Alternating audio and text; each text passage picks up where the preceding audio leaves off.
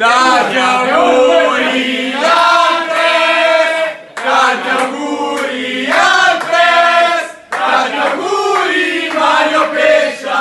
Tanti auguri al Pres! Presidente, pagaci la